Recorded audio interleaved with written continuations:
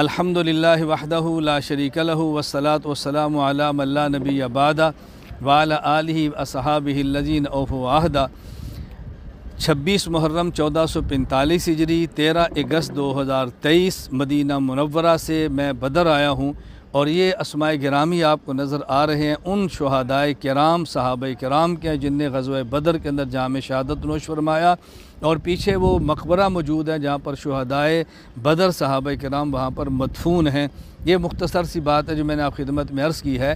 गजवा बदर तारीख़ इस्लाम का पहला मार्का है जिसने कुफर की ताकत को तोड़ के रख दिया और यूँ समझ यहाँ पर फतूहत का आगाज़ हुआ है और ये मुबारक हस्तियाँ हैं जिनने सबसे पहला अपना खून इस काम के लिए दिया है। खैर मैं जो बात इस वक्त रिकॉर्ड कराना चाह रहा हूँ, मदीना तय्यबा से बदर आते हुए मेरे एक शागिर्द ने क्लिप भेजा कि उस ज़रा इसको देख लें। मैंने देखा तो एक ममाती आलिम अताउल्ला बंदयालवी गुमराह का था और उसने यहाँ पर भी आकर बजाय इसके कि साहब कराम शहदा का तस्करा होता मैदान जिहाद का तस्करा होता, उम्मत को जिहाद की दावत दी जाती और कुफर के ख़िलाफ़ मैदान अमल निकलने की तरगीब दी जाती। या फिर फिर आकर वही अदम समय मौता की बहस को छेड़ दिया। खैर, वो जो करें, सो करें मुझे से गर्ज़ नहीं है। मैं इस तरह भी कहना चाहता हूँ कि उसने उम्मत को गुमराह करने की कोशिश की है। जिसका ख़ुलासा क्या है, उस हदीस पाक है, जिस पर बात की है। ये रवायत सही बुखारी भी मौजूद है कि रसूल अक्रम सल्ला वसम ने, यानी वो जो कुआँ था, जिसके अंदर मशरकिन के सरदारों को फेंका गया और आपने वहाँ खड़े ऊपर गुफ्तु फरमाई।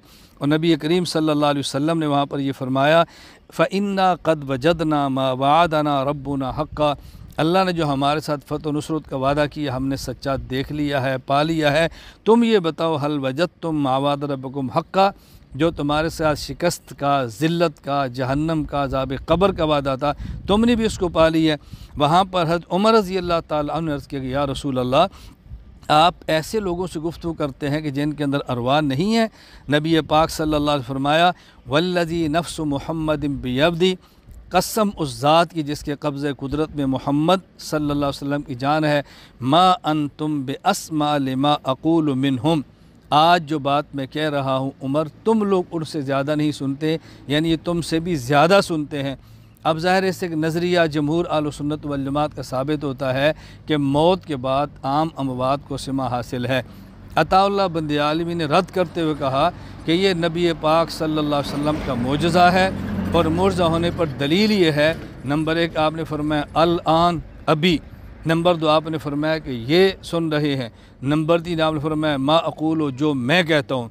इसका मतलब यह कि आम अमवात नहीं, आज सुनते हैं, हजूर की बात सुनते हैं और यही मुर्दे सुन रहे हैं। अब बताओ, इसका क्या ताल्लुक़ है मूर्सा के साथ?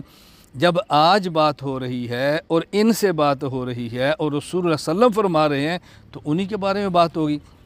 जिस तरह मैं किसी बंदे से बात करूँ, यार, तुझे मेरी गुफ्तु आज जो मैं कह रहा हूँ, तुझे समझ आई है? कल को बंदा कह दे कि देखो ये तो करामत थी। क्यों? इसलिए कि उस्ताद जी ने फरमाया, आज तुझे मेरी गुफ्तु लिहाजा बंदा कभी नहीं सुनता। ये तीन जुमले बताते हैं कि उस्ताद जी, करामत है। भाई, करामत नहीं है।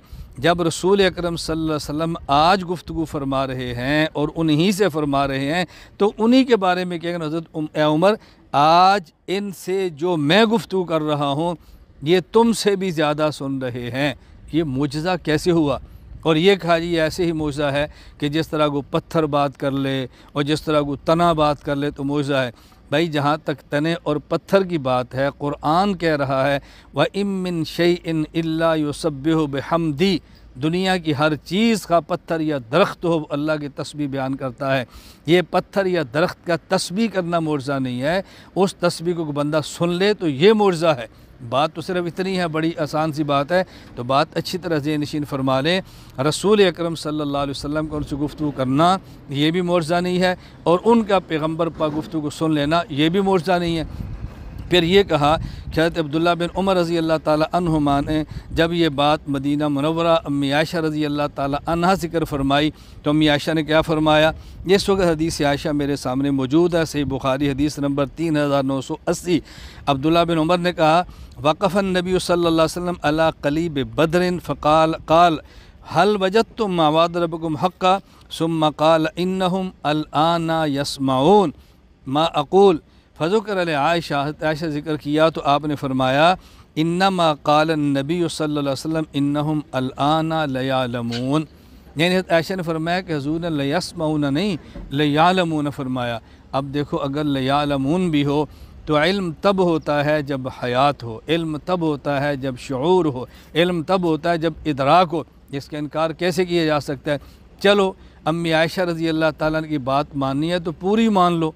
आप सिमा के इनकार करके इल्म के कायल हो जाओ। इल्म के कायल हो गए तो हयात के कायल हो गए। जब हयात के कायल हो गए तो उसमें फिर वही सिमा की बात आ जानी है। फिर अगर आपने मियाशा रज़ी अल्लाह ताला की बात माननी है तो वो बात क्यों नहीं मानते जो मुसनद अहमद में है? जब मियाशा रज़ी अल्लाह ताला फरमाती है कि रसूल अकरम अलैहि वसल्लम अपनी कब्र मुबारक में मदफून थे मैं जाया करती मज़र अबू बकर सिद्दीक थे, मैं तब भी जाया करती। एक मेरे शोहर थे और एक मेरे वालद थे। फ़लम्मा दुफ़न उमर, जब उमर दफन हो गए तो उस वक्त जब जाती तो मैं अपने ऊपर पर्दे का चादर का अहतमाम करके जाती, हया अमिन उमर। एक मेरे वालद थे और एक मेरे शोहर थे। उनसे मेरा तो पर्दा नहीं था। आयशा रज़ी अल्लाह ताला की जब वो बात आती है तो वहाँ फिर आप कहते रहिए उनकी बात ही अकल के ख़िलाफ़ है तो हम कैसे मान लें? मैं खैर गुजारिश कर रहा हूँ, धोखा उम्मत को मत दो। ये समाय अम्बात का अकीदा जमहूर आहल सुन्नत वल जमात का है। और मैं ये समझता हूँ कि यजीद जैसे फासिक और फाजर की तायद करने का नतीजा ये है कि खुदा की तरफ़ जब ये फिटकार पड़ती है कि वो बदर का मार्का, गजवा बदर का मार्का, जहाँ पे सहाब कराम रज़ी अल्लाह तु को फ़तह हासिल इस्लाम गालिब हुआ और कुफर की जड़ें कट गई, वहाँ आकर तस्करा शहदा का करना चाहिए, सहाबा का करना चाहिए, जिहाद का करना चाहिए, उम्मत मुसलमा को मैदान अमल में निकलने की बात करनी चाहिए, वहाँ भी इन मसाइल को अगर छेड़ दिया जाता है। और जब हम जवाब देते हैं तो फिर हमें कहा जाता है, ये फ्रूई मसला, इस पर बहस नहीं करनी चाहिए। बहस हमने नहीं की। फरूई मसला भी होगा और जमहूर आल सुन्नत वल जमात का होगा। उसके मद्द मुकाबल कोई शख्स गुमराही फैलाने की कोशिश करेगा।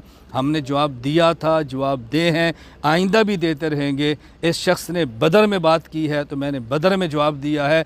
इन मेरे अल्लाह ने चाहा, हम हर मौके पर जिसको गलत समझते हैं उसकी अतदाल और दलाइल और अखलास के साथ उसकी तरदीद करते हैं और इन मेरे अल्लाह ने चाह तो करते रहेंगे। अल्लाह ताला मुझे आप सबको आलोसन्नत सुन्नत वल जमात, अहनाफ देवबंद के अकायद पर कारबंद रहने की तोफ़ी अता फ़रमाए। वाखिर दावाना अलहमदिल्ला रबालमी